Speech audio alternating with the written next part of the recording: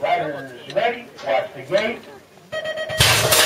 Där är B-finalen då. Upp till sju år iväg.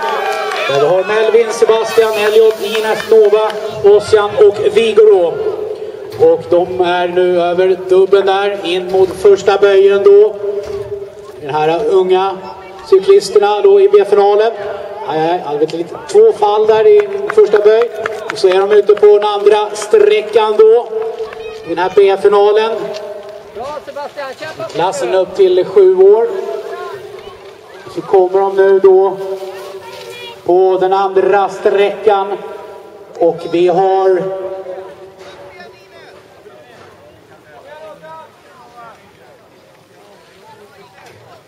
Och då alltså Melvin, Sebastian, Elliot, Ines, Nova, Ossian och Vigoro i den här B-finalen.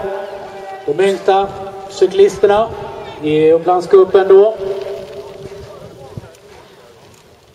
De trampar och kämpar de här unga cyklisterna då i dessa stora gupp och hopp som finns då på banan. Men de tar sig i alla fall in mot mål här. Snart. Några har redan kommit på målrakan och så har vi några cyklister fortfarande på tredje rakan här då i den här B-finalen då. Där vi ser att det är Melvin, Sebastian, Elliot, Ines, Nova, Ossian och Viggo då i B-finalen på väg in mot mål.